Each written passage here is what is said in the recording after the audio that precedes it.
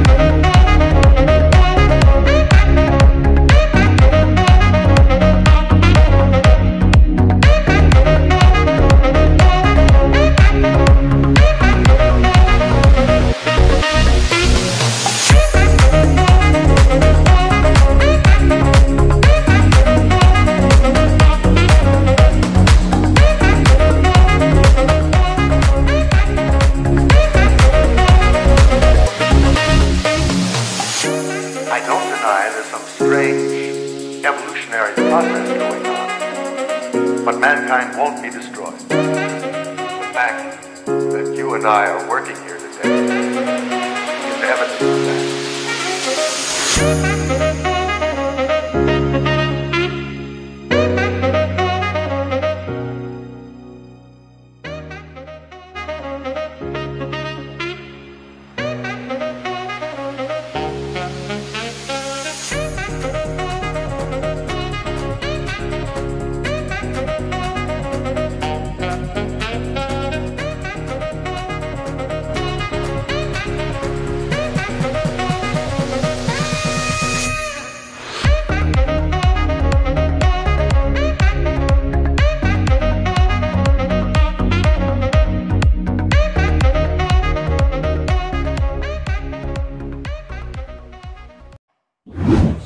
guys, ito po yung tsura ng ah, Toyota ano natin, ah, Rush.